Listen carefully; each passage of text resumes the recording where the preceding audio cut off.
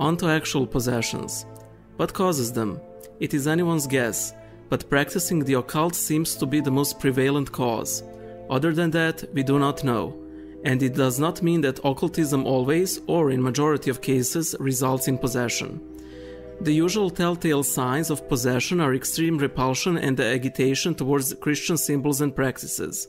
The demoniac may manifest knowledge that he or she never acquired, and manifest incredible feats of strength and aggression when an exorcism is attempted. There are ways by which a possession can be differentiated from a mental illness.